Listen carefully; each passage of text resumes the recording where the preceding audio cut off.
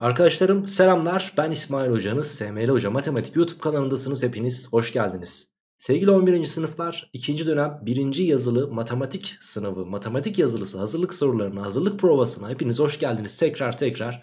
Arkadaşlar bugün sizlerle birlikte yazılı hazırlık babında 25 tane metin yayınlarına beraber oluşturduğumuz soru var arkadaşlar. Bu soruları çözmeden sınava mutlaka yazılıya mutlaka girmeyin arkadaşlar. Tabi yazılıya girin de bu soruları çözseniz çok daha mantıklı ve çok daha güzel olacaktır. Evet arkadaşlar PDF açıklama kısmında ücretsiz biçimde linki mevcut. Çözümleri de mevcut arkadaşlar. Bunları indirip istersen PDF çözümlerinden istersen video çözümlerinden takip edebilirsin. Aklında bulunsun artık gerisi sana kalmış diyelim. İlk sorumuzda vakit kaybetmeden başlayalım. Evet ilk sorumuzu şöyle ekrana büyütelim. 4 tan 15 çarpı 4 tan 75 demiş. Bakın gençler Tanjant 75 dediğimiz şey biliyorsunuz ki kotanjant 15'e eşittir. Çünkü bu açılar birbirini 90'a tamamlıyor.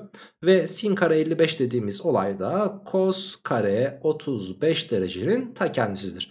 Şimdi gelin üst tarafı biraz daha düzenleyelim isterseniz. Bakın 4 ile 4'ün çarpımı 16 yaparken tan 15 ile kot 15'in çarpımı 1'dir. Bunlar gider üst taraf 16'ymış. Burayı da 8 parantezin alırsanız eğer bakın sin kare 35 artı kos kare 35 geldiğini görürsünüz. Ve bu şekilde sin kare 35 ile kos, e, kos kare 35'in toplamı da 1 olacağından burası 16 bölü 8'dir. Yani 2'nin ta kendisidir sevgili arkadaşlarım. Doğru cevap 2 idi. Devam edelim ikinci sorumuza. Kos kare teta'yı neye bölmüş? Kos kare teta artı sin teta eksi 1'e bölmüş bu ifadenin en sade hali soruluyor. Şimdi öncelikle cos kare teta dediğimiz şey 1 eksi sin kare tetadır arkadaşlar. Bunu biliyoruz. Şimdi bilmeyen varsa da öğrensin. Şimdi gençler ben şurada cos kare teta gördüğüm yere bakın üst tarafı yazıyorum aynen. Cos kare teta bölü daha sonrasında cos kare teta gördüğüm yere 1 eksi sin kare teta yazdım. Artı hemen bitişiğinde sinüs teta var ve eksi birimiz mevcut. Ve dikkat ettiysen Eksi 1 ve artı 1 birbirini götürüyor. Şimdi üst tarafa bakıyoruz. Bir e, kos kare teta var. Bu kos kare teta'yı yine buradaki gibi 1 eksi sin kare teta olarak dönüştürelim. 1 eksi sin kare teta yazdınız. Bölü alt kısımda da sadece şurası kaldı. İkisi de sinüslü olduğu için ben bunu sinüs teta parantezine almak istiyorum. Sinüs teta parantezinde ise 1 eksi sin teta kaldığını görebiliriz. Daha sonrasında gençler üst taraf 1 eksi sin kare teta alt tarafta bu oldu.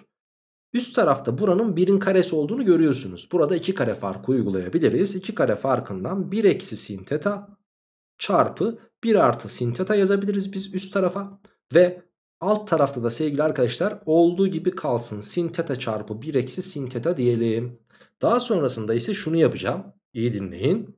1 eksi sin tetaları götüreceğim.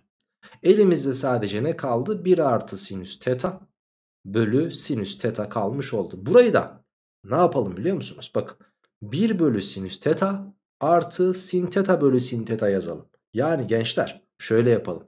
1 1 e, bölü sin teta artı sin teta bölü sin teta biçiminde yazalım biz burayı. Sonuçta yazabiliriz. Matematik bu konuda bizi engellemiyor. Pekala 1 bölü sinüs teta neydi arkadaşlar? Kosekant tetaydı biliyorsun artı sin theta bölü sin theta da 1'in ta kendisiydi. Yani cevabımız cos tet, kosekant theta artı 1 olacakmış arkadaşlar. Doğru cevap buydu.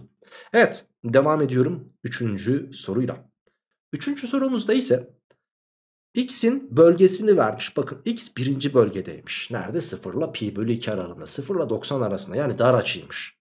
Ve diyor ki sin kare x de sin kare 90 eksi x. E şimdi hocam bir saniye 90 eksi x aslına bakarsan x'in 90'a tamamlayıcısıdır. Yani ben bu sin kare 90 eksi x'i cos kare x olarak yazabilirim. Ve elimizde artık şöyle bir eşitlik meydana geldi. Sin kare x artı cos kare x. Peki sin kare x artı cos kare x bir özdeşlikti ve kaça eşitti? Tabii ki 1'e eşitti. O halde cevabımız da 1 olacaktı. Devam ediyorum dördüncü soruyla. Kotanjant x'in üzerine ne ekle demiş? Sin x bölü 1 artı cos x'i ekle demiş. Şimdi kotanjant x demek zaten kendi başına kosinüs x bölü sinüs x demekti. Bunu hemen bu şekilde yazalım. Yazdıktan sonra da yanına yanındakini bir güzel ekleyelim arkadaşlar. 1 artı kosinüs x diye. Daha sonrasında şunu yapalım. Ben burayı 1 artı kosinüs x ile genişletmek isterim. Burayı da sinüs x ile genişletmek isterim ki toplayabilelim. O halde şunu da şunu çarpın bakalım ne gelecek? Kosinüs x artı kos kare x gelecek. Artı şununla da şunu çarpın bakalım ne gelecek? Tabii ki sin kare x gelecek. Daha sonrasında bölü dedik. Alt kısımlar ne olacak? Sinüs x ile 1 artı kosinüs x'in tabii ki çarpımı olacak. Şimdi gençler burada kos kare x ile sin kare x'in toplamı tabii ki 1'dir. Yan tarafa yazıyorum bakın. 1 artı kosinüs x oldu pay kısmımız. Payda kısmında da sinüs x çarpı 1 artı kosinüs x var. E şimdi bir zahmet. Yukarıdaki 1 artı kosinüs x de aşağıdaki 1 artı kosinüs x alttaki çarpım durumda olduğu için gitsinler. Böylelikle elimizde sadece ne kalsın? 1 bölü sinüs x kalsın. 1 bölü sinüs x de önceki sorulardan biliyorsun. Kosekant x'in ta kendisi olacaktı. Evet dördüncü sorumuzun cevabı da buydu. Böylelikle sol sütunu bitirdik ilk sayfamızda. Artık nereye doğru geçiyoruz? Beşinci sorumuza doğru yol alıyoruz. Evet şimdi arkadaşlar 4x eksi m artı 3y artı 1 eşit 0 doğrusu x ekseniyle pozitif yönde 135 derecelik bir açı yapıyormuş. Şimdi 135 derecelik açı yapıyorsa x ekseniyle bu bir doğru. Demek ki bunun eğimi m. M demeyelim çünkü burada eğim e, olarak m'yi kullanırsak burada da m var. M demeyelim arkadaşlar. Eğim diyelim direkt. Eğimimiz ne olacak arkadaşlar? Tanjant 135 derece olacak. Biliyorsun ki bir doğrunun x eksenine yaptığı açının tanjantı o doğrunun aslında eğimidir. Şimdi tanjant 135 de eksi 1'dir biliyorsun zaten. Tamam. Şimdi ben bu doğruların eğimlerini farklı bir şekilde trigonometriyi kullanmadan da bulabiliyordum. Nasıl buluyorduk? Şöyle. Önce şunu yapıyorsun. Ee, şu ifadeyi eksisiyle beraber komple y'yi tutup karşıya fırlatalım. Böylelikle 4x artı 1 eşittir. Y parantezinde m artı 3 gelecektir. m artı 3'ü de karşıya tekrardan bak çarpım durumunda ya burada m artı 3. Karşıya bölüm olarak atarsın. Yani 4x artı 1 bölü m artı 3 dersin. Bu da bize y'yi verir. Şimdi ben eğimi nasıl buluyordum arkadaşlarım? Eğim x'in katsayısı oluyordu. Yani burada 4 ve bölü m artı 3. Yani arkadaşlar bizim eğimimiz 4 bölü m artı 3'müş. Ekstradan biz eğimin eksi 1 olması gerektiğini de elde etmiştik. O halde bu eksi 1 eşittir. İçler dışlar çarpımı işimizi görür. Yani 4 eşittir. Eksi m eksi 3 yapar.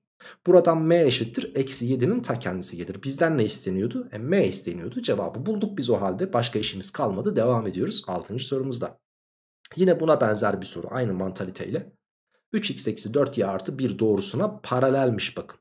Yani bunun eğimiyle aynı demeye çalışıyor. Paralel olan ve y eşittir x artı 2 doğrusu ile x ekseni üzerinde kesişen doğrunun denklemi. Şimdi x ekseni üzerinde kesişiyormuş ya.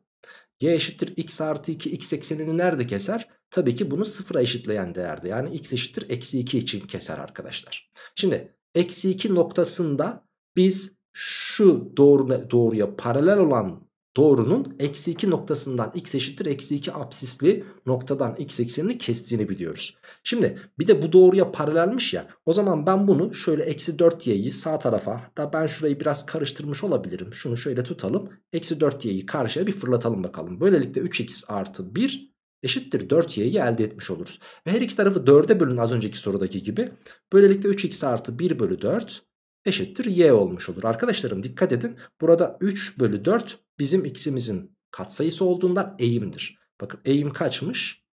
Bu doğrunun eğimi 3 bölü 4'müş. Ve paralel olduğu için o aradığımız denklemin de eğimi 3 bölü 4'tür. Şimdi aradığımız denklemi yazıyorum. y eşittir 3 bölü 4x 3 bölü 4x dedim. Niye? Eğimi başa yazdım. Şimdi x eşittir eksi 2 için de sıfırdan geçtiğini biliyoruz. E, o halde ben şöyle diyeceğim. Buraya mesela a diyelim tamam mı? x gördüğümüz yere eksi 2'yi yazdık. Ve sıfırdan geçecek dedik. Sıfır eşittir 3 bölü 4 çarpı eksi 2 artı a diyorum. Tamam. Daha sonrasında a'yı bulup yerine yazınca denklem ortaya çıkmış olacak. Bunu da yapabilmek için 0 eşittir bakın. Eksi 2 ile 4'ü sadeleştirdiniz. Burada eksi 2 kaldı. Eksi 3 bölü 2 artı a. Eğer sıfırsa a kaçtır arkadaşlarım? Tabii ki 3 bölü 2'nin ta kendisidir. Yani o zaman benim denklemim şuymuş. y eşittir. y eşittir. 3 bölü 4x ve artı 3 bölü 2'ymiş sevgili arkadaşlarım. İşte bizim denklemimiz buydu. Soruda aranılan denklemdi bu. Devam ediyorum. 7. soruyla hemen şöyle yaklaşalım ve diyelim ki 3'e eksi 9 bu A noktası 5'e M bu da B noktası. Bu noktalardan geçen doğru x eksenini 45 derecelik açı yapıyormuş x ekseniyle. Eğimi nedir o zaman? Hemen sen biliyorsun eğimi nasıl bulduğumuzu tanjantla değil mi? Eğer açıyı biliyorsak tanjantı kullanmak çok akıllıca. Tanjant 45 derece bu da kaçmış? 1. Tamam yani eğimin 1 olması gerektiğini bulduk. Peki iki tane nokta verilmiş bakın bir A ve B noktası. Bu iki noktadan geçen doğrunun ben eğimini nasıl buluyordum? Şöyle ordinatlar farkı yani M'den eksi 9'u çıkarırsan M artı 9 kalır. 5'ten de 3'ü çıkarıyorsun. Absisler farkı 5'ten 3 çıkarsa 2 olur. Ve eğime yani 1'e eşit olur. O halde içler dışlar çarpımından m artı 9 eşittir 2 diyeceğiz. Buradan m de sevgili arkadaşlarım bir önceki sorularda bulduğumuz m değeri gibi yine eksi 2 gelecekti. 7. sorumuzda çözdük. M'yi eksi 7 bulduk ve devam ediyorum 8. soruyla. Analitik düzlemde demiş A ve B noktaları arasındaki uzaklık şu formülle hesaplanır denilmiş bize. Ee, 2y eşittir 3x eksi 4 doğrusu üzerinde bulunan 2y k noktasının orijine olan uzaklığı soruluyor. Şimdi bu da, e, doğrunun üzerindeyse 2'ye k noktası. K'yı bulmak çok basit. K'yı nasıl buluruz arkadaşlarım? Şöyle. Madem bu doğrunun üzerindeymiş. X gördüğümüz yere 2 yazarsak y'si de bunun k olur. Hemen yazalım 2y hatta 2k diyelim daha doğrusu 2k eşittir. X gördüğüm yere 2 yazarsam 3 kere 2 eksi 4 derim. Yani 2k eşittir 2 gelir. K da buradan kaç olur arkadaşlar? 1'in ta kendisi olur. Pekala k'yı bulduk yani 2'ye 1 noktasıymış burası. Ve ne demişti? Bu 2'ye 1 noktasının orijine olan uzaklığı sorulmuştu. Bunu yapmak için de orijini biliyorsun 0'a 0'dı. 2 eksi 0'ın karesi artı 1 eksi 0'ın karesi diyoruz buradaki formül yardımıyla. Bu da bize 2'nin karesi 4, 1'in karesi 1'den kök 5'i verir arkadaşlar. Demek ki kök 5 birimmiş bu noktanın orijine olan uzaklığı diyelim. Ve ilk sayfamızı bitirdik. Hayırlı uğurlu olsun. Devam ediyoruz. İkinci sayfamızda 9. sorumuzda. Evet demiş ki bakın 9. soruda aşağıda eksi 4 ve 5 kapalı aralığında tanımlı fx fonksiyonunun grafiği bize verilmiş arkadaşlar. Buna göre eksi 4 5 kapalı aralığında f pozitif tanımlıdır demiş. Yani eksi 4'ten 5'e gidene kadar bu fonksiyonun grafiği her daim x eksenine üzerinde kalmış. Yani x eksenine değmemiş bile demek. E bakıyorsunuz doğru söylüyor. Yani x eksenin üzerinde o halde pozitif tanımlıdır. Yani birinci öncülümüz doğru. Eksi 4 0 aralığında fonksiyon azalandır demiş. E bakalım azalan mı? Şöyle yapalım bakın. Evet eksi 3'ten 0'a kadar bir eksi 2'den 0'a kadar bir azalanlık söz konusu fakat eksi 4'ten görüyorsunuz ki eksi 2'ye kadar bu fonksiyon artan o halde azalandır diyemeyiz arkadaşlarım. Üçüncü öncülümüze bakıyoruz. Eksi 4 5 kapalı aralığında f'nin alabileceği en büyük ve en küçük değerlerin toplamı 6'dır. Yani bu tanım aralığında arkadaşlarım alınabilecek en büyük değer bakın burada 5. En küçük değerde bakın burada 1 ya da bu taraftan bakarsınız 1 olduğunu görürsünüz. Dolayısıyla 5 ile 1'in toplamı da 6 yapar. Yani 3. öncülümüz de doğru. Bizim o halde doğru cevabımız 1 ve 3 olacaktı sevgili arkadaşlarım. Evet devam ediyoruz gençler 10. sorumuzda. Bir parabol sorusu. Bu parabolün tepe noktası x ekseninin üzerinde olduğuna göre a kaçtır? Şimdi parabolün tepe noktası x ekseninin üzerinde ise bu nasıl bir görüntüye sahiptir arkadaşlarım? Hemen Şöyle kabaca gösterelim. Mesela şöyle bir görüntüye sahip veyahut şöyle bir görüntüye sahiptir diyebiliriz. Bunun şuraya değdiğini tabii ki düşüneceğiz arkadaşlar. Şöyle gösterebiliriz. Şöyle biz bunu değdirelim şuraya. Aynen. Şimdi değmedi ama olsun. Şöyle bakalım. Olsun. Değdiğini düşünelim. Uzaktan değiyor gibi görünüyor. Şimdi eğer ki bu şekilde x ekseninin üzerindeyse tepe noktası tabii ki x eksenine teğettir. X eksenine teğet olanlarını biliyorsunuz. Deltası neydi arkadaşlarım? Sıfıra eşit oluyordu. O halde biz deltayı burada tek yapmamız gereken sıfıra eşit demek. Deltamız neydi arkadaşlar? Formülü b kare eksi 4 ac idi. Burada b'miz eksi 2. A'mız zaten 1. C'miz de 4 arkadaşlar. Bakın burası B, burası A, burası da C. O halde B kare eksi 4 AC'yi yerinde yazalım bakalım. Eksi 2'nin karesi 4 eksi 4 çarpı A çarpı C'miz de 4 eşittir 0 dedik. Burada bakın şurası eksi 16A yapar. Karşıya atarsanız 4 eşittir 16A gelir. Ve her iki tarafı 4'e bölerseniz 4A eşittir 1 gelir ve A da 1 bölü 4'ün ta kendisidir. A kaçtır diye sorulmuştu. Cevap 1 bölü 4 olacaktı. Evet Devam ediyorum. Kaçıncı sorumuzda? 11. soruyla. Demiş ki bize 11. soruda arkadaşlar k eksi 3x kare artı k artı 2x artı k artı 22 parabolünün tepe noktası y ekseni üzerindedir. Parabolün tepe noktası y ekseni üzerinde ise o parabolün yani ax kare artı bx artı c parabolünün tepe noktası y ekseni üzerinde ise pek tabii buradaki b'nin sevgili arkadaşlarım sıfıra eşit olması şarttır. O halde demek ki x'in katsayısı olan şu kısım k artı 2 sıfıra eşit olacak. Yani k kaçmış arkadaşlar? Eksi 2'nin ta kendisiymiş. K eksi 2 ise yerine bir yazalım. Y eşittir. Eksi 2 eksi 3 daha eksi 5 yapar. Eksi 5x kare. Ve şurası da eksi 2 ise burası artı 20 yapacaktır. X eksenini kestiği noktalar arasındaki uzaklık sorulmuş. X eksenini kestiği noktaları bulmak için benim bunu sıfıra eşitlemem gerekiyor. O halde arkadaşlar eksi 5 parantezini alırsanız x kare eksi 4 eşittir 0 gelir ve bu x değerleri de birisi eksi 2'dir öteki de artı 2'dir. İşte bunların arasındaki uzaklık soruluyor. Eksi 2 ile 2'nin arasındaki uzaklık tabii ki 4 birimdir sevgili arkadaşlar. Cevabımız da 4 olacaktı. 11. sorumuzu çözdük. Devam ediyoruz 12. soruyla. Şekildeki fx parabolünün kuralı soruluyor bize. Şimdi bunu bulabilmek için biliyorsunuz birkaç tane yöntemimiz vardı. Burada yöntemimiz şu olacak. Kökleri biliniyor. Köklerden bir tanesi eksi 3 diğeri de 0 ve bir noktası da biliniyor. O halde arkadaşlar kökleri x1 ve x2 olan parabolün denklemi nasıl yazılıyordu? y eşittir a çarpı x eksi x1 çarpı x eksi x2 biçiminde yazıyorduk. O halde x1 ve x2'yi biliyorsak yazalım. y eşittir a baş katsayımız ne olduğunu bilmiyoruz. Çarpı köklerden birisi eksi 3 ise x eksi eksi 3'ten x artı 3 gelecektir. Daha sonrasında çarpı diyorum. Köklerden diğeri de 0 ise x eksi 0 diyoruz sevgili arkadaşlar. Ve bundan sonrasında ise olay gayet basit. Şunu bir yazalım. a çarpı x artı 3 çarpı x diyorum. Peki a'yı nereden bulacağız? a'yı da bulmak için şöyle bir yöntem izleyeceğiz. Soru bize kopyayı vermiş. 1'e 12'den geçiyor bu demiş. Yani y 12 iken x'ler 1 oluyor demiş. a çarpı x gördüğümüz yere 1 yazarsak 4 çarpı 1 gelir. Buradan ise 4a eşittir 12 ise a kaçtır arkadaşlar? 3'tür. Şimdi bizden kural istenmişti. Aslına bakarsanız kuralımız şuydu. Fakat fakat a'yı bilmiyorduk. a'yı da yerine yazarsanız hadi şurada yerine yazalım. Kuralı olsun. y eşittir 3 çarpı x artı 3 çarpı x olacak. Eğer ki hocanız bu şekilde istemiyorsa 3'ü ve x'i içeri dağıtabilirsiniz. Böylelikle 3x kare artı 9x gelir arkadaşlar. İşte size parabolümüzün kuralı diyebiliriz. Evet devam 13. soru. Yukarıdaki şekilde x kare eksi 6x artı k parabolünün grafiği verilmiş ve mn arası da 14 birimmiş. Buna göre k kaçtır diye soruluyor.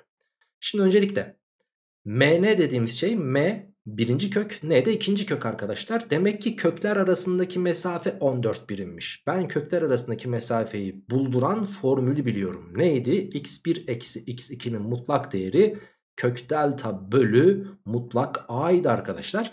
Burada a'yı biliyor muyuz? a'yı biliyoruz 1. Yani artık mutlak değer 1'de 1 olduğu için benim kök delta'ya bakmam lazım. Demek ki kök delta eşittir kaç geliyormuş? 14 geliyormuş. Şimdi o halde deltamız neydi kuralı? B kare eksi 4ac. Deltamızı bir bulalım sizle beraber. Delta burada B kare eksi 4ac olduğu için bunun karesi 36. Eksi 4 çarpı 1 çarpı k eşittir diyorum sevgili arkadaşlarım delta. Şimdi kök delta 14 ise delta'nın kendisi 14'ün karesinden 196'dır. Demek ki 36 eksi 4k eşittir 196 diyeceğiz arkadaşlar. Buradan 196'yı bu tarafa eksi 4k'yı bu tarafa gönderirseniz 36 eksi 196 eşittir 4k deriz. Her iki tarafı 4'e böleceğiz ama ondan önce 36'dan 196'yı bir çıkaralım. Çıkarırsanız 160 gelir tabii ki eksilisi. Eksi 160 eşittir 4k ise k eşittir eksi 40'ın ta kendisidir arkadaşlar. K sorulmuştu bize cevap eksi 40 olacaktı. Devam ediyoruz bir diğer sayfamızdayız artık gençler. Bir diğer sayfada 14. sorumuzu çözeceğiz. Dik koordinat düzleminde x kare artı 4x artı k eksi 5 fonksiyonunun x eksenini iki farklı noktada kesmesi için ki x ekseni iki farklı noktada kesiliyorsa bu ikinci dereceden ifadenin deltası sıfırdan daima büyük olmalı. Pekala deltanın sıfırdan büyük olması için diyor aslına bakarsanız k'nın alabileceği en büyük tam sayı değeri kaçtır? Maksimum bakın k'nın maksimum tam sayı değeri sorulmuş bize. o halde gelin delta'yı bulalım. Delta'nın sıfırdan büyük olması gerektiğini söylemiştik. Deltamız b kare eksi 4 ac'ydi. Yani 4'ün karesi 16 eksi 4 çarpı 1 çarpı c'miz de k eksi 5. İşte bunun sıfırdan büyük olması gerekiyor dedik. 16 eksi 4'ü içeri dağıtıyorum. Eksi 4k artı 20 sıfırdan büyük. Eksi 4k'yı bu tarafa gönderirseniz 16 ile 20'nin toplamı 36'dır. 36 büyüktür 4k yapar. Her iki tarafı 4'e bölerseniz k küçüktür 9 gelir. K'nın alabileceği en büyük tam sayı değeri sorulmuştu. Burada 9'dan küçük en büyük tam sayımız 8'dir. Dolayısıyla K'nın alabileceği maksimum tam sayı değeri eşittir 8 diyebiliriz gençler. Doğru cevabımız bu olacaktı. Devam edelim 15. soruyla. Dik koordinat düzleminde A ve B noktalarında kesişen şekildeki parabollerin en büyük dereceli terimlerinin katsayıları 2 ve eksi 1'dir. Bakın en büyük dereceli terimlerin baş kat en büyük dereceli terimlerin katsayıları demek baş katsayı demek. Demek ki bu parabollerden bir tanesinin baş katsayısı 2'ymiş. Öteki de eksi 1'miş arkadaşlar. Şimdi hangisi 2 hangisi eksi 1? Kolları yukarı doğru olanın baş katsayısı pozitif olacağı için bu 2x kare ile başlıyordur. Bu da eksi x kare ile başlıyordur diyebiliriz.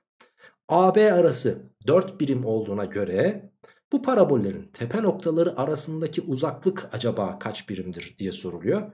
Arkadaşlarım şöyle diyeceğiz. Tepe noktaları arasındaki uzaklık sorulmuş ya. Yani neresi soruluyor? Şurasıyla şurasının arasındaki hop şöyle indirirsek arkadaşlar işte buradaki mesafe soruluyor bize. Peki ben bu mesafeyi nasıl bulabilirim? Tabi öncelikle şöyle dememiz gerekiyor. Bizim sevgili arkadaşlarım tepe noktası tepe noktaları arasındaki mesafeyi elde etmemiz gerekiyor ya. Tepe noktasının şurasına biz ne diyorduk? R diyorduk değil mi? Pekala. Şimdi bakıyorsunuz bizim parabollerimizin kökleri aynı. E şimdi kökler aynıysa ben şurada baş katsayısı 2 olan parabolümüze y eşittir. 2 çarpı hadi gelin şuraya a diyelim şuraya b diyelim. x eksi a çarpı x eksi b olması gerektiğini söyleyebiliriz. Dahası mı? Dahası var. Y eşittir. İkinci kolları aşağı doğru olan parabolümüzde eksi parantezinde x eksi a çarpı x eksi b'nin aslında ta kendisidir. Pekala. Şimdi AB arasının 4 birim olduğunu söylemiş. Bu bize neyi getirir? Demek ki bir kökümüz diğer kökten tamı tamına 4 birim daha fazla arkadaşlar. 4 birim fazlaysa eğer bakın 4 birim fazlaysa e, burada B A'dan 4 birim fazladır. Yani B gördüğüm yere A artı 4 yazabilirim. Dolayısıyla burada e, A artı 4'lerimizi yazarsak hemen onları da düzeltelim. X eksi B gördüğüm yere şunu yazacağım bakın. X eksi A artı 4 yazacağım. Ve burası da yine x eksi a artı 4 olacak gençler. Pekala işte bizim parabolümüzün genel formatıyla hali bu. Peki ama ben burada tepe noktalar arasındaki farkı arıyorum hocam. Bunu nasıl elde ederiz diye düşünecek olursanız da aslında çok basit. Şöyle ben a ile şuradaki b'yi toplayıp 2'ye bölersem neyi bulurum? Tam ortayı yani r'yi bulurum arkadaşlar. Peki B dediğimiz şey neydi? A artı 4'tü. Yani A ile A artı 4'ü topluyorum. 2'ye bölüyorum. Böylelikle karşıma A artı 2 çıkıyor. Yani benim tepe noktamın apsisi A artı 2'ymiş. O halde gelin x gördüğümüz yere A artı 2'leri bir yazalım bakalım. Tepe noktalarını buluruz. Birinci parabolümüzün yani kırmızı parabolün tepe noktası daha doğrusu yeşil parabolün tepe noktası k eşittir. 2 çarpı bakın x gördüğümüz yere a artı 2 yazıyorduk. a artı 2'den a'yı çıkardınız 2 kaldı a artı 2'den a artı 4'ü çıkardınız eksi 2 geldi. Yani birinci parabolümüzün tepe noktası eksi 8 yani şurası arkadaşlar eksi 8'miş. İkinci parabolümüz için k'yı bulacak olursak da bu da eksi parantezinde bakın eksi çarpı a artı 2'yi şurada yerine yazdınız. Yine 2 geldi. Şurada yerine yazdınız yine eksi 2 geldi. Bunları çarparsanız da 4 gelir. Yani buranız da kaçmış 4'müş. E çok güzel. Bize şuradaki mesafe sorulmuştu. Eksi 8 ile 4'ün arasında tamı tamına 12 birim mesafe olduğu için bu mesafe 12 birime eşittir arkadaşlar. Bu da bizim sorumuzun cevabıdır. Evet devam ediyoruz. Altta soru var mı? Varmış 16. sorumuzda gençler. Eşitsizlik çözeceğiz. Tablo çizeceğiz yani. Biraz sıkıcı gibi görünse de e, nasıl diyeyim aslına bakarsanız garanti sorular olarak görebilirsiniz arkadaşlar. Ufak tabi tiyolarla. Şimdi bu eşitsizliği sağlayan en küçük x tam sayısı sorulmuş. Bu eşitsizliği sağlayan x tam sayılarını bulmak için tablo çizmemiz gerekiyor. Öncelikle üst tarafın köklerine bakmamız gerekiyor. x parantezinde x eksi 5 yazarsanız birinci kökümüz 0.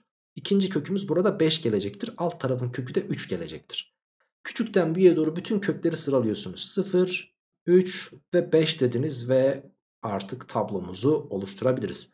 Tablomuzu oluştururken de şu şekilde tablonun bacaklarını çizdiniz. Ve çizdikten sonra artık şunu yapıyorsunuz. Hocam burası küçüktür demiş. Yani eşitlik yok. Eşitlik yoksa hiçbirinin içini doldurmuyorsunuz. Zaten payda kısmının kökünün içi zaten boş olacaktı. Şimdi peki artıyla mı eksiyle mi başlayacağız? Bu da çok mühim bir olay. Bakın x karenin katsayısı artı, x'in katsayısı eksi, artı bölü eksi. Çünkü bunları bölmüş ya biz de bölüyoruz. Artıyı eksiye böldük, eksi geldi. O zaman eksiyle başladınız. Kök gördünüz artı, kök gördünüz eksi ve kök gördünüz artı dediniz. Sonrasında ise artık şunu yapıyoruz gençler. Bizden neresi istenmiş? Sıfırdan küçük olan bölge yani negatifleri istediği için de benim çözüm kümem burası ve burasıdır diyorum. İşte bu kadar. Sağlayan en küçük x tam sayısı kaçtır peki? En küçük tam sayıyı arıyorsam tabii ki burada değil şurada aramam gerekiyor. E sıfır olmuyorsa sıfırdan bir büyük olan tam sayıyı yani 1'i kabul ederim. Cevabım da 1 olur arkadaşlar. Evet 17. sorumuzda devam edelim bakalım. Şimdi gençler burada dikkat edin çift katlı kök muhabbetleri falan girecek. Bu konuyu anlamayan varsa da burada çok iyi anlayacak emin olabilirsiniz. Öncelikle bakın. Üst tarafa baktınız. Buranın kökü x eşittir 2. Fakat karesi olduğu için çift katlı köke sahiptir diyoruz. Alt tarafa bakıyorsunuz x parantezinde 3 eksi x olarak yazdınız burayı da. Bunun kökü 0 buranın kökü de 3. Şimdi köklerimizi sıralayacağız. Neler vardı? 0, 2 ve 3 vardı. O halde 0, 2 ve 3'ü şu şekilde sayı doğrusu üzerine sıraladım. Sayı doğrumu da çizeyim. Çizdikten sonra da artık tablomun bacaklarını da attım. Şimdi gençler iyi dinleyin. Üst taraf için üst tarafın kökü neydi? 2 eşitlik olduğu için bunun içini dolduruyorsunuz ve çift katlı olduğu için iki tane dolduruyorsunuz şu şekilde. Alt tarafın kökleri tek katlıydı ama paydanın kökleri olduğu için içleri boş olacak. Çünkü x'in 0 ve 3 olması demek ifadenin tanımsız olması demekle aynı şey. O halde arkadaşlar şimdi artı mı eksi mi bakacağız. Üst taraf zaten karesi olduğu için pozitif. Alt tarafta x karenin katsayısı en büyük dereceli terimin katsayısı negatif olduğu için negatif. Artı bölü eksiden eksi gelecek ve burayı eksi Tek katlı kök gördüm artı. Bakın çift katlı kök var burada. Çift katlı kökü görünce işaret değiştirmiyorsunuz. Ve yine tek katlı eksiyle devam ettik. Bizden istenen bölge neresi peki? Bakın sıfırdan büyük veya eşit olan bölge. Yani arkadaşlarım pozitif olan bölge istenmiş ve şurası. Şimdi eşitsizliğini sağlayan kaç tane x tam sayısı vardır diye sorulmuştu bize. Burada sıfırdan büyük bakın 1 var. 2 de var çünkü içinin, 2'nin içleri dolu bakın. Dolu oldukları için alabiliriz anlamına geliyor. 3'e bakıyorsunuz 3 var mı? 3 yok. Neden? Çünkü içi boş. Demek ki arkadaşlarım sadece 1 ve 2 var. Kaç tane 2 ta kaç tane x tam sayısı vardır diye sorulmuştu. Doğru cevabımız 2 tane olacaktı sevgili gençler. Devam 18. soru. 18. soru için şu kısmı şöyle birazcık silelim.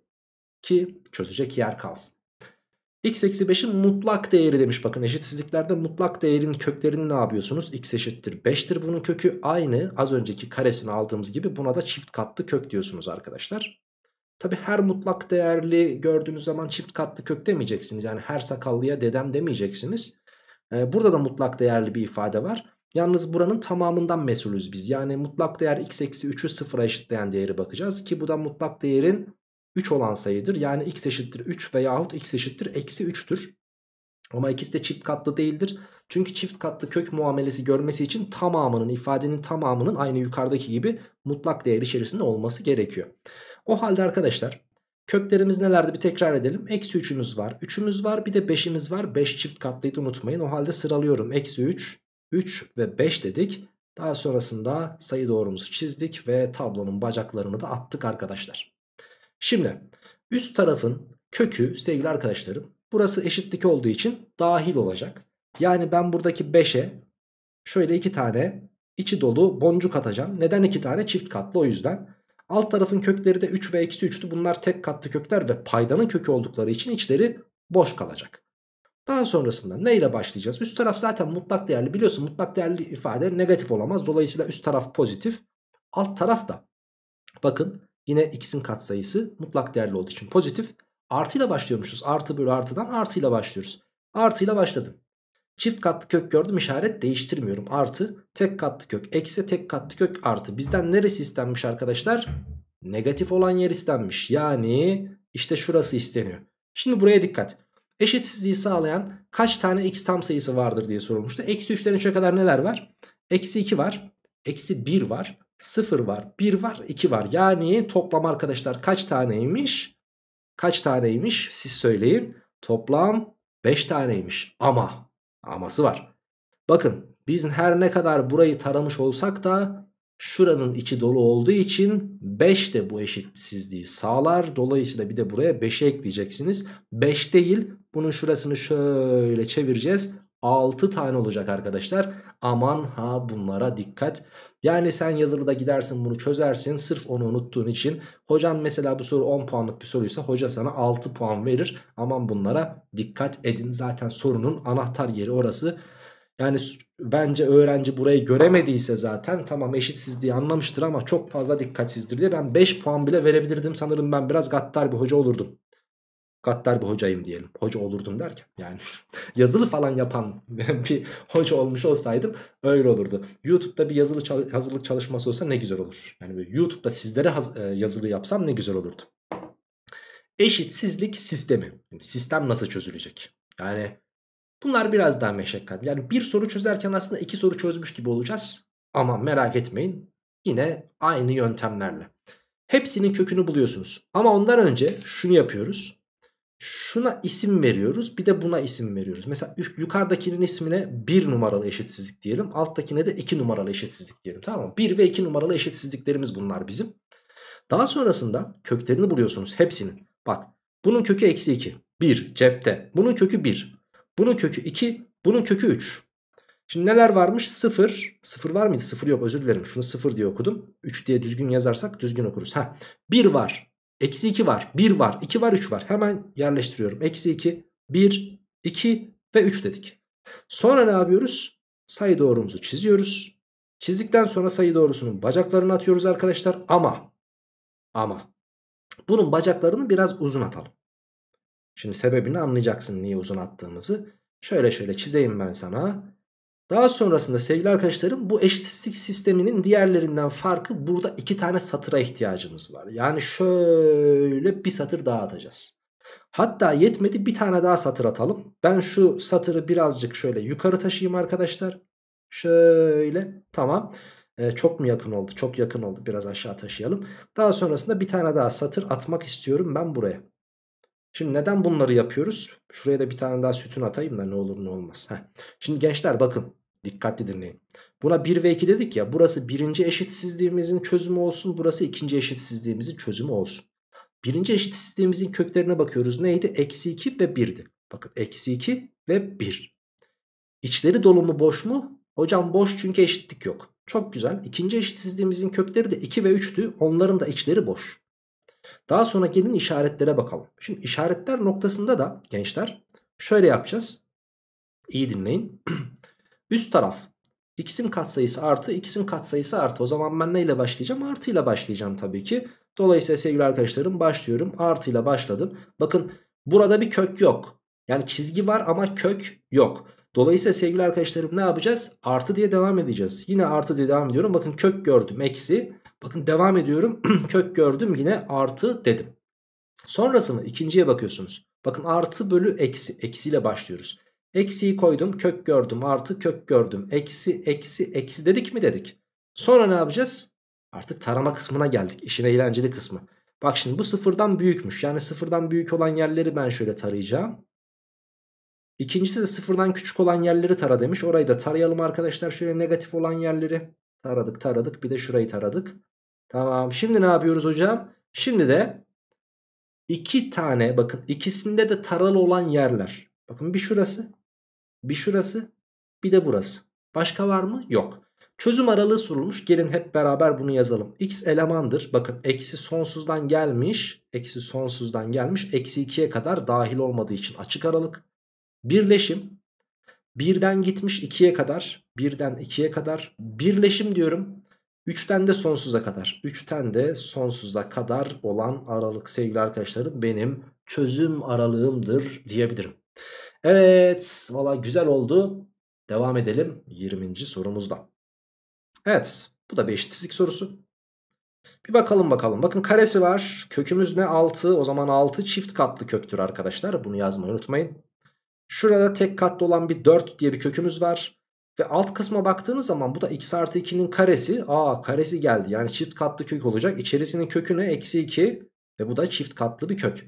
Şimdi çift katlı burada iki tane kökümüz var. Bir tanesi 6 ötekisi eksi 2. Tek katlı olan bir tane kökümüz var. O da sevgili arkadaşlarım 4. Sıralayacağız. En küçüğü burada hangisi? Eksi 2. Sonra 4 ve sonra da 6. Bir şöyle çizelim sayı doğrumuzu. Sonra tablomuzun bacaklarını atalım. Şimdi ne yapacağız? İçleri dolu mu boş mu onlara bakacağız. Küçüktür olduğu için yani eşitlik yoksa her daim boştur. Bunun pay payda hiç fark etmez. Hepsi, hepsinin içini boş bırakıyoruz ama 6 çift katlı olduğu için 2 tane atıyorum. Eksi 2 çift katlı olduğu için 2 tane atıyorum. 4 tek katlı olduğu için 1 tane atıyorum kökü. Daha sonrasında neyle başlayacağız? Bakın burası karesi olduğu için zaten pozitif. E, burası da pozitif. E, bu da pozitif. Demek ki pozitifle başladım. Çift katlı kök gördüm pozitif. Tek katlı kök gördüm negatif. Çift gördüm negatif diye devam ettim. Bizden istenen yer sevgili arkadaşlarım sıfırdan küçük olan bölge olduğu için bir şurayı istemiş. Bir de burayı istemiş. Demiş ki tüm gerçel sayılardaki çözüm kümesi sorulmuş. Tüm gerçel sayılarda çözüm kümesi yazıyorum bakın. X elemandır dedim. Eksi sonsuzdan 4'e gidene kadar tüm aralık yalnız.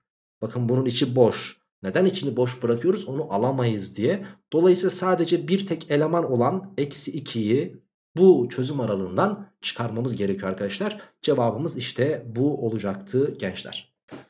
Evet böylelikle bu sayfanın da çözümünü bitirmiş olduk. Şöyle sayfamıza uzaktan bakalım. Umarım senin sayfanda böyle düzenli nizamidir. Güzel güzel çalışmışsındır. Artık son 5 sorumuz ve son 5 soruda da Yine bir tane eşitsizlik var. 4 tane de sevgili arkadaşlarım geometri dalından sorularımız mevcut. 21. sorumuzu gelin hep beraber çözelim.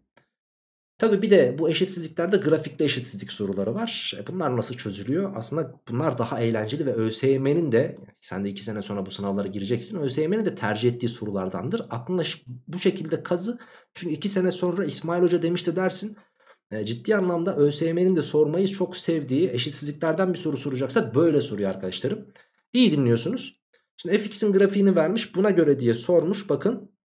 2 eksi x çarpı fx küçüktür 0 eşitsizliğini sağlayan x tam sayılarının toplamı soruluyor. Şimdi gençler şuranın kökünü zaten 2 olduğunu biliyorsunuz. Çok iyi biliyorsunuz. Buranın kökü 2. Ama fx'in köküne şimdi fx'in köklerini grafik üzerinden okuyabiliriz. Bakın bir kök eksi 4'müş.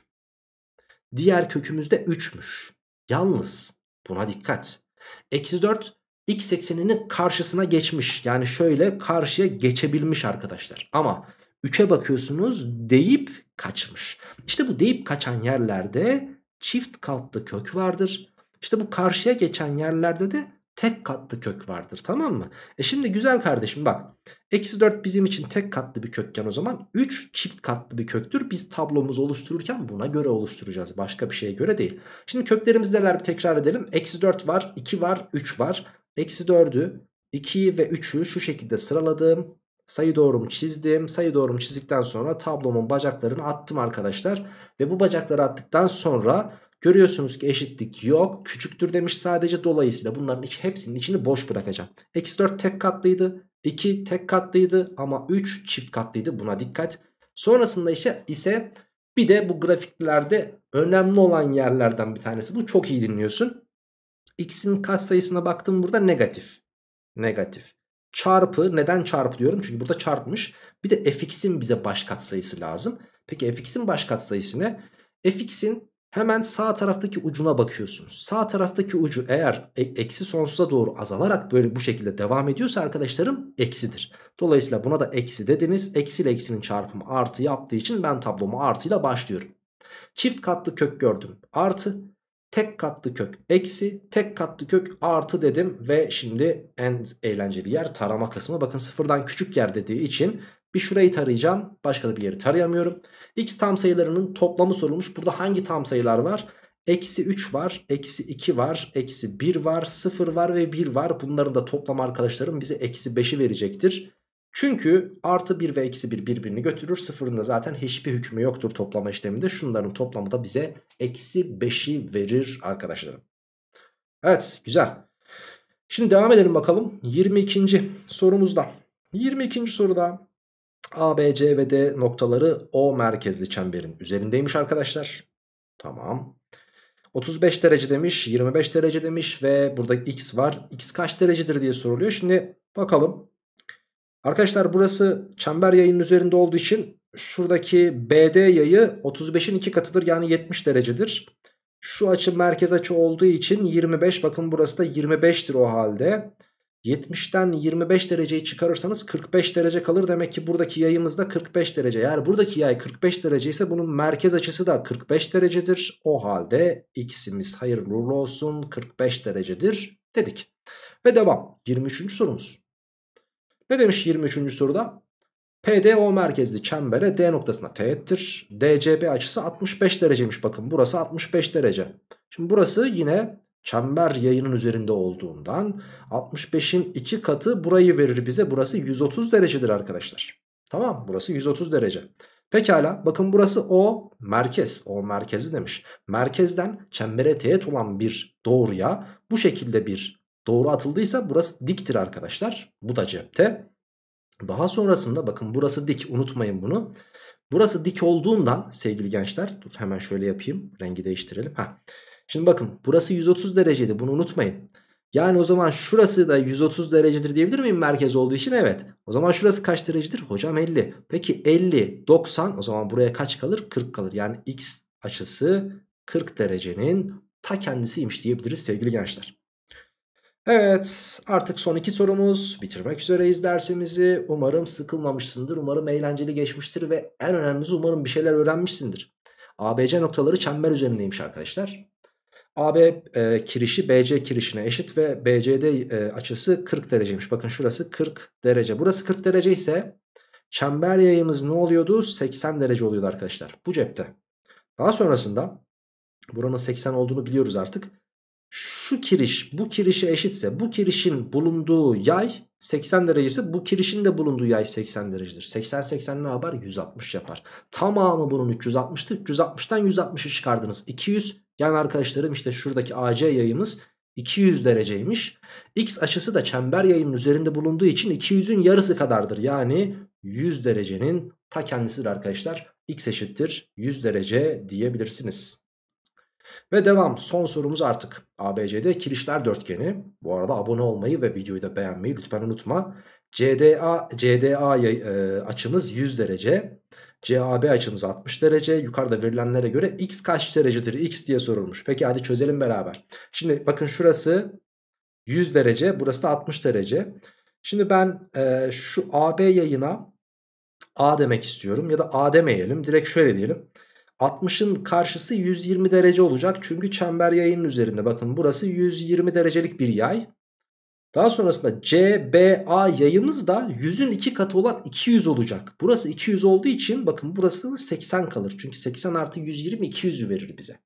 E şimdi burası 80 ise x'in karşısı neydi arkadaşlarım? Burada çember yayının üzerinde olduğu için 2x'tir. Demek ki 2x 80 derece olacak. Yani x burada kaç derece olacak arkadaşlarım?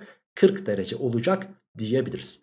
Evet böylelikle artık tüm pdf'imizi bitirmiş olduk sevgili arkadaşlar. 25 tane birbirinden güzel soru çözdük. Umarım yazılında sana büyük büyük faydalar sağlar. Umarım yazılıların en düşük 90 alırsın inşallah. Sonraki videolarda sonraki yazılı hazırlık çalışmalarında ve en önemlisi seneye de beni kaybetmemek için abone olup videoyu beğenirsen beni mutlu etmiş olursun. Ee, sonraki videolarda artık görüşürüz. Hoşça kalın, sağlıkla kalın ve tabii ki bol bol matematik çalışmayı da lütfen unutmayın.